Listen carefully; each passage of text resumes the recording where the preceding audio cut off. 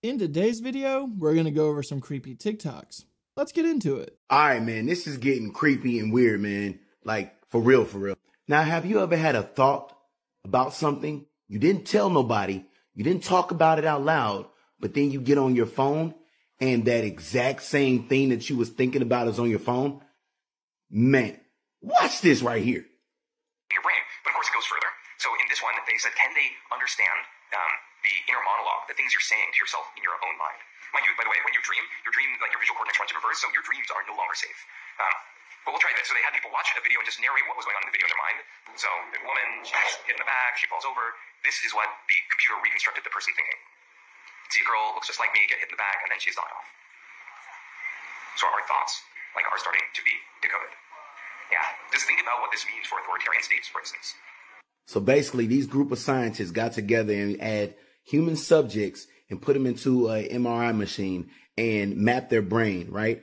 And they they asked them to they asked them certain questions and they told them to watch certain things and to visualize what it is that they're watching, right? Or talk to themselves. While AI at the same time, who's never seen what they're seeing, mapped out their brain to what it is that they see. What? What? Bro, this goes deeper than what we think it is, man. So the thoughts that we're thinking might not even be our own thoughts. Of course, we already know that certain beings in other realms, they, you know, suggest things to us. But this is on a whole nother level. So it's not just our phones listening to us and, you know, the cameras are watching us. There's also something else. Watch this. Torques of this. How about can we go from Wi-Fi radio signals, you know, sort of like the Wi-Fi routers in your house, they're bouncing off radio signals that work sort of like sonar. Can you go from that to where human beings are to images? So what they did is they had, um, you know, a camera looking at a space with people in it. Um, that's sort of like coming in from one eye. The other eye is the radio signals, so sonar from the uh, Wi-Fi router. And they just learned to predict like this is where the human beings are. Then they took away the camera, so all the AI had was the language of radio signals bouncing around a room, and this is what they're able to reconstruct real time 3D pose estimation, right? So suddenly AI has turned every Wi Fi router into a camera that can work in the dark, specially tuned for tracking living beings. Man, hell no. It wouldn't surprise me if a lot of like CIA, FBI, uh, governmental officials have this information already and it's just we are starting to get control over it and starting to utilize it. But I, I think that they already have this technology and it's already being implemented what does it actually look like in the astral realm? When you're astral projecting, what does it look like? My name is Kay, and in this video, I'm going to be describing my experiences with what I've seen in the astral realm. Now, it all depends on where you're at. When I'm astral traveling in my bedroom, like right around my physical body or in my neighborhood, you know, places like that, it looks exactly like what you would imagine it to look like during nighttime because I always astral project at nighttime and when I'm in my bedroom, it's dark. It's hard to see unless I have like a nightlight on or there's some light from somewhere. I often like to leave a some sort of light on so I can actually see. And if I go around my house in the neighborhood, I can see the lights from outside. I often travel through the woods. I live in a in the mountains, so I go through the mountains a lot and it's dark, but I could see the moon, I could see the stars and they give some sort of brightness to it. But overall, it's dark and there seems to be a natural darkness to the astral realm. Anyways, things seem a little shadowy, a little bit difficult to see. There's not quite sharp edges. I have to get up really close to something to see it really well. Now, when I'm astral projecting up above the earth and I'm heading out into outer space, that looks different. I'm moving really fast, so I see the stars moving by me. Things, you know, in outer space just really fast. And then when I'm out in outer space, I could see the stars and the planets. But I've noticed I'll like zoom in on certain planets. I oftentimes see three planets in particular. I believe there's a reason why I'm seeing these three planets, but that's for a different video. And when I'm looking at these planets, I don't tend to see a whole lot of stars or anything like that. But once I start traveling around, you know, it opens up. I could see what you would imagine outer space to actually look like. It's not as dark. It's not as shadowy. Things seem to be defined much better. Like I have a better visual when I'm in outer space as opposed to when I'm on Earth.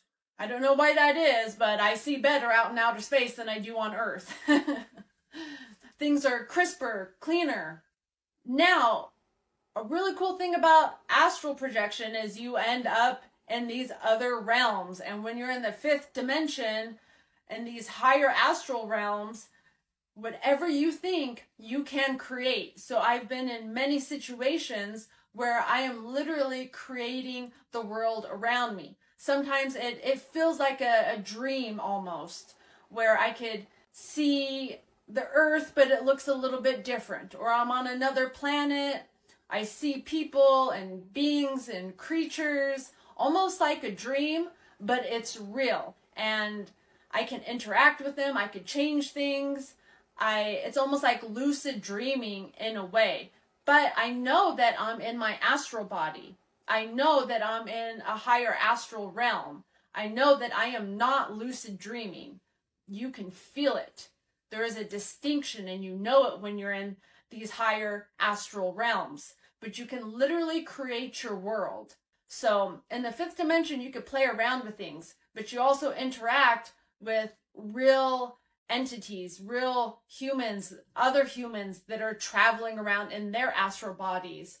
Or you may see aliens or other entities like angelic beings and such. So it is really incredible. If you want to know more about the fifth dimension experiences, comment down below and I'll go a little bit more into that in a separate video. But in short, the astral realm looks different depending on where you're at and you know it, like you will know where on the spectrum you're at. It's um, you, you can't get the lower astral realms confused with the higher astral realms. The lower astral realms are something similar to hell. That's where shadow people and shadow parasites reside, demons, and really low vibe energy entities some people have literally described it as being in hell because it's so frightening. The energy is so ooh, ooh, intense and just negative. You know that you're in the lower astral realms. It's a terrifying place. So you cannot get that confused with the higher astral realms where everything is beautiful and there's angelic beings and you feel a sense of peace and love and happiness. So there's all these different um, places in between. But I really wanted to just describe what it visually looks like in these different places. If you've experienced anything like this before, comment down below and please let me know. I know that I'm not going to speak for everyone else. Some people see different things, so please share your experiences. I'm really interested in knowing. And for more videos like this, be sure to follow me at Astral Kay. I have a lot of videos on how to astral project, shadow people, aliens, and much, much more. So be sure to follow me and I'll see you all soon. Hey, this was a longer video, but I really enjoyed this. I, I always find it interesting to listen to anyone that's been astral projecting or remote viewing. I I would love to be able to do something like this. I think that that would be so much fun. Like that'd be so interesting. I, there's so many places that I would like to explore if astral projection works in the real world. I would like to go to like Area 51 or something like that, but my luck, they would probably have some kind of astral projection barrier. As soon as you hit it, you just come back to your body. That would suck.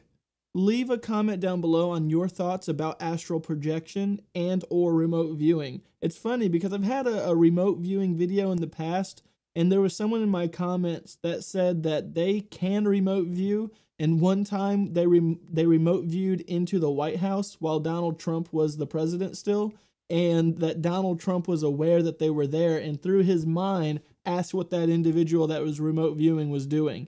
I don't know if that's a serious comment or not, but I enjoyed the crap out of it. That was hilarious and awesome at the same time.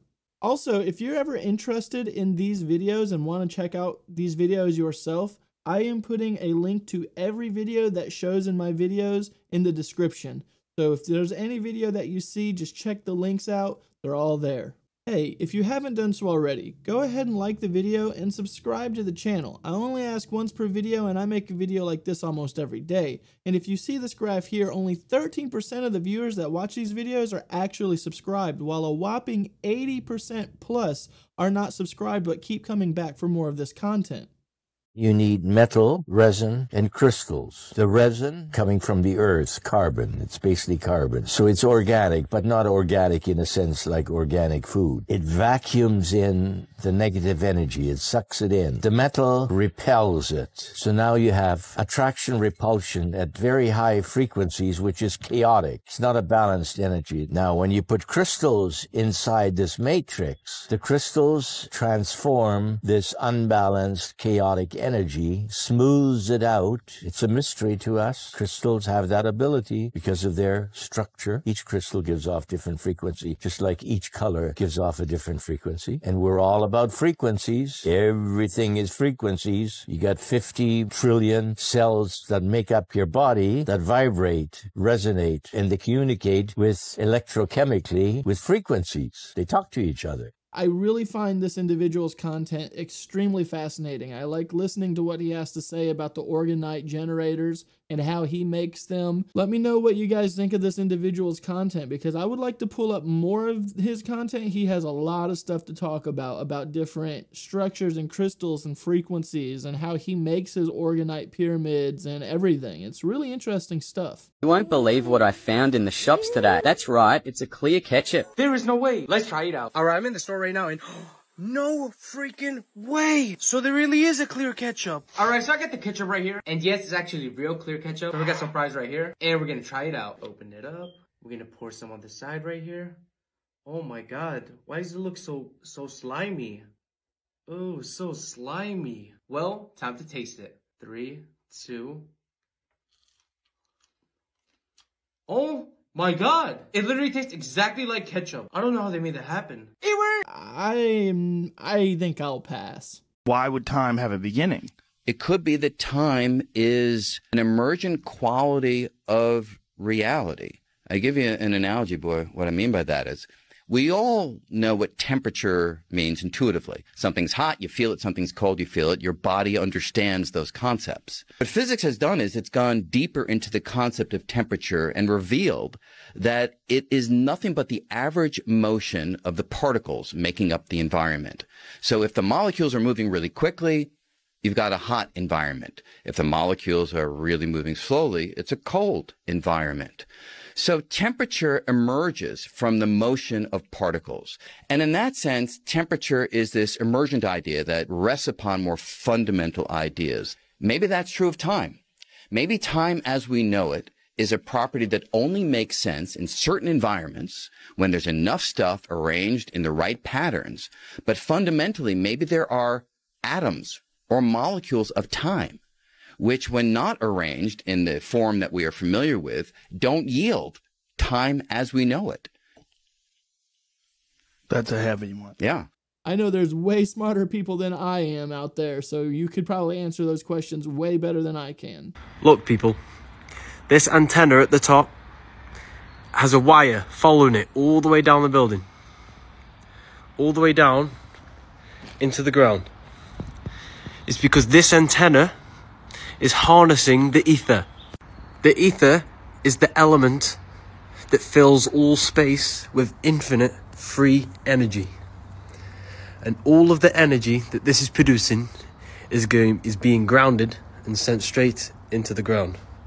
All of these buildings from the 17 to 1800s have these antennas, spikes on the top of them because they are all doing the exact same thing. It was a complete different world They've got rid of this technology because now they're capitalizing and making you a slave to work to pay the bills for something that is free. Look, here's another one. Antenna being grounded again on another building. We need to wake up and realize that there is free energy. Once we all realize this, the whole system goes down. I don't argue what this individual is saying necessarily. I definitely do believe that there is a way for unlimited free energy. I do not believe that that's what that is necessarily. I, I really truly think that those are just lightning grounds so that if the steeples get struck by lightning, all the charge goes to the conductor rod that's underneath the place. That's why the wire looks so fresh. That's not old wire. That's something that's been kept up to date so that the steeples don't get destroyed. I, I think you can correct me if I'm wrong, but I'm pretty sure that those are just lightning grounds and that's it. I don't think they're made for any kind of electrical uh, improvement or any kind of power management other than to capture lightning and discharge it off of the building. Let me know in the comments though. Scientists say this is probably how the pyramids were built.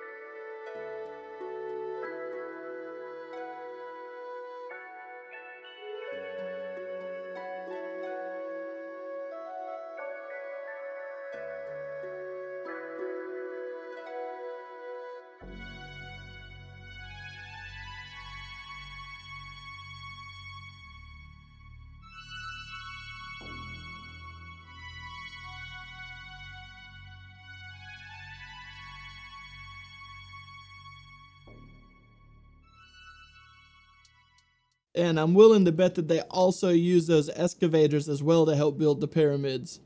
I see where they're going with this. Maybe that is definitely how that they cut the the blocks for the pyramid, but now we have to figure out how did they move them?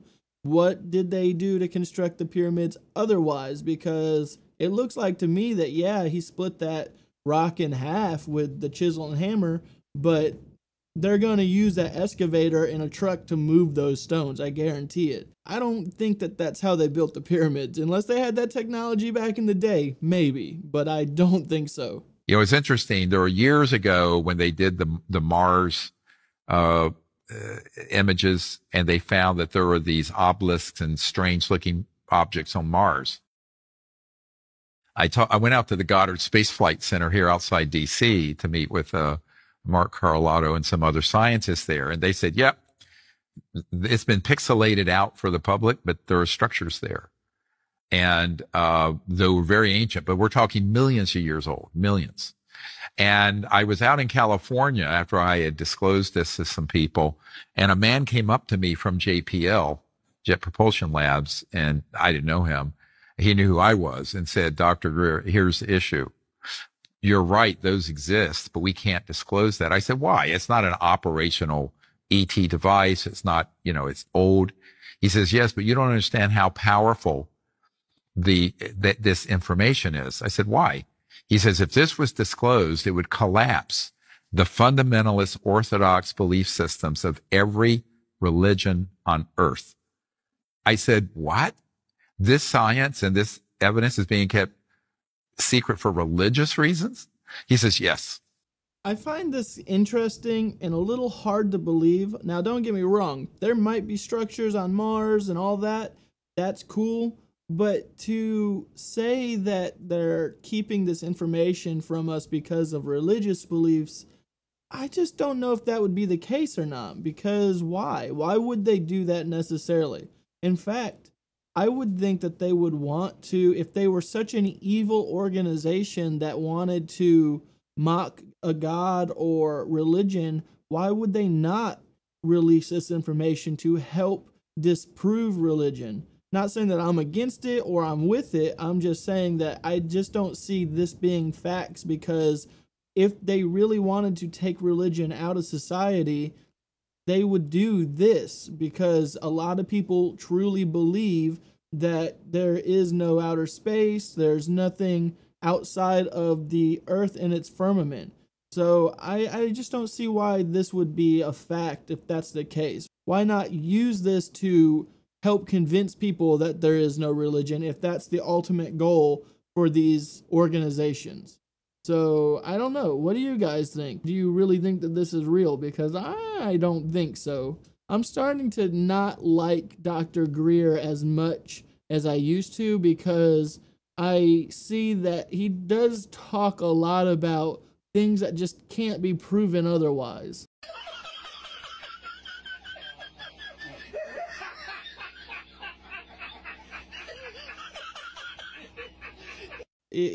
everybody that watches these videos should know how I feel about NASA. I truly don't believe that they're a genuine company. I do believe that they're a money laundering company. Now, does that does it that doesn't mean that they're not working for space programs and doing things for the military and stuff, but I truly think that a lot of information that they give us is way watered down and or just non-existent. Like that picture for example. Now, I don't I don't know if that photo is a real NASA photo. I haven't gone out of my way to go see the NASA photos, but I see this a lot.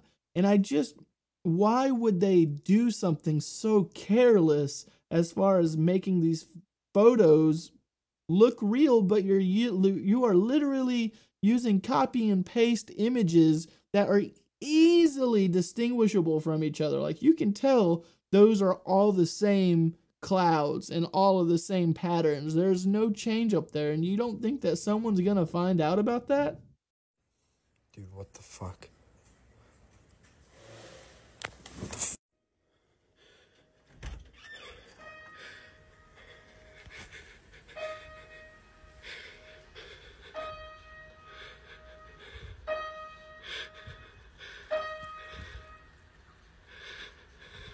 Who's there?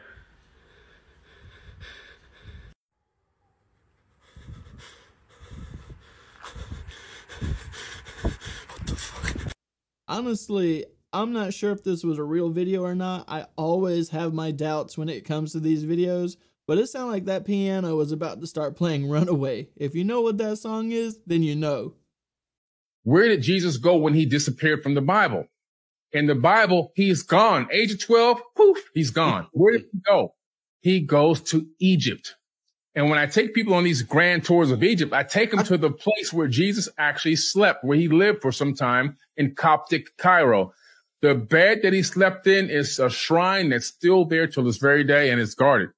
And so he went to Egypt. Why did he go to Egypt? He went there to learn the Egyptian mysteries from who? Tahuti. He was a student of Tahuti, right? So now when we say, could he either be Tahuti or is a student of Tahuti? Well, that's a much deeper conversation. That might be a whole other podcast because this guy was such a wizard and magician. He had, he had come back and incarnated at will over 10,000 lives, right? According to the Emerald Tablets over the course of a hundred thousand years. Could he have gotten bored with that and said, you know, I want to come through a womb of a woman and come out and see life as a human being and regain all my memory? So it's a possibility. But either way, he disappears out of the Bible at the age of 12. He goes to, to uh, Egypt. He learns the Egyptian mysteries. Then there's a record of him going throughout Egypt into Nubia and then even leaving there and going to Tibet. What did he learn in Tibet? Yeah. Yeah. In Tibet, he learned how to heal with his hands. He learned the art of Qigong, Reiki, and all these other healing modalities through moving energy through the body. So he became a healer. Again, something that would be considered to be magic like. And then from there, and that was confirmed by the Dalai Lama, by the way. Then he moved from there down into India, learning the mystic arts. Again, more quote unquote magic. And from there, teaching reincarnation all the way back to Egypt. And then from there, the Bible picks back up at the age of 32. He says, I call, God says, I call my son out of Egypt.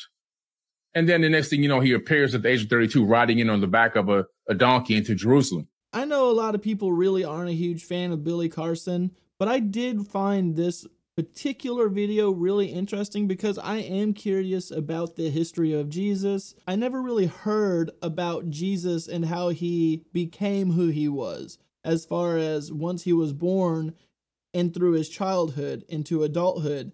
I, I found this extremely interesting because it's really fun to theorize about that. Like, if that is the case and he is this uh, super powerful being that just traveled to all these different places and learning their ways to become the Jesus that we know. I think that's pretty interesting, personally. So leave a comment down below on what you guys think because I know there's probably a lot of people that Oh, will leave this video because I played Billy Carson, but I hope that you did stay just so that you can tell me about this situation a little bit better because maybe this is just all completely false.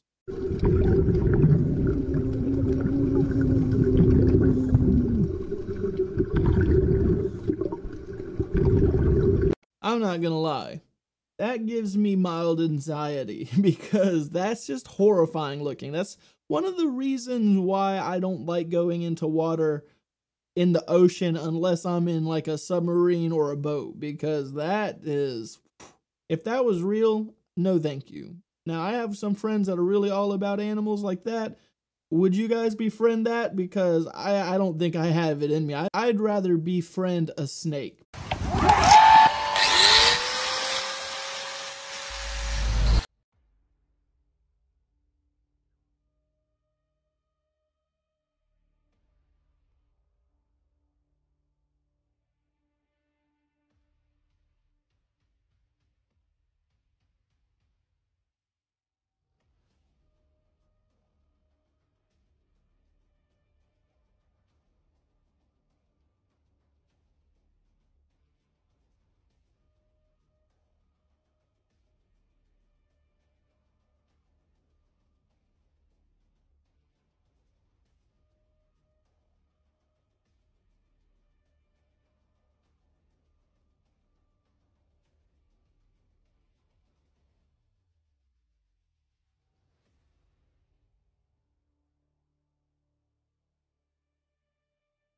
You will no longer need to pay for electricity for your life.